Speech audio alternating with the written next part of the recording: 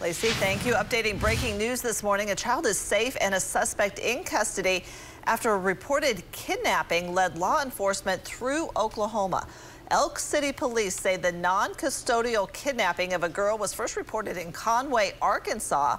Oklahoma troopers chased the suspect car through OKC early this morning, but it was Elk City police who ended the chase at I-40 and Highway 6 using stop sticks.